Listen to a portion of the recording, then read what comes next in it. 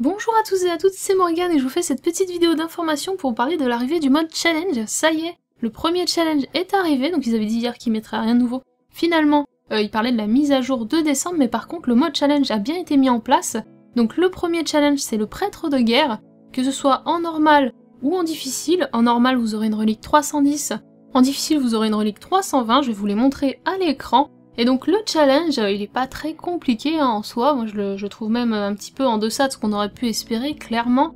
Le challenge, c'est tout simplement de faire le prêtre de guerre en deux passages, et euh, que les porteurs d'aura soient différents à chaque passage. Parce que les gens qui ont pris les mêmes porteurs d'aura ont eu des problèmes pour avoir les récompenses, ils n'ont pas réussi le challenge. Donc changez bien de porteur d'aura. De toute façon, ça c'est pas compliqué si vous êtes deux par plaque, enfin si vous, vous jouez à 6, euh, vous allez facilement pouvoir switcher pour être sûr que ce soit pas le même porteur d'aura à chaque fois. Et donc deux passages sur le prêtre de guerre, hein, ça veut dire masse DPS, bien sûr, ça se fait quand même facilement. Et surtout si vous prenez des titans armes de lumière, hein, ça va euh, passer normalement assez simplement. Et vous aurez également un emblème à looter que je vous montrerai également à l'écran. On va d'ailleurs justement essayer ça dès ce soir, hein, dans le stream de ce soir, on essaiera ce challenge en hard mode directement, si on peut avoir la relique 320, ça ferait bien plaisir. Personnellement, je sais pas combien je montrerai de lumière, mais euh, ça risque d'être sympathique, sachant que je suis déjà à 315 de lumière. Ça peut être pas mal, donc j'ai hâte de découvrir ça avec vous en live. Je vous dis à ce soir et à très vite sur la chaîne.